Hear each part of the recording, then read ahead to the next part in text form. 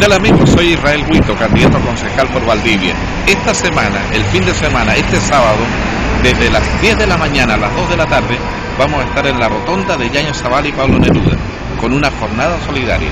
Pondremos allí a disposición de ustedes abogados, doctores, psicólogos, de tal manera de hacer verdad el ser solidario. Le invitamos para este sábado desde las 10 de la mañana en la rotonda de Pablo Neruda, Yaño Zavala.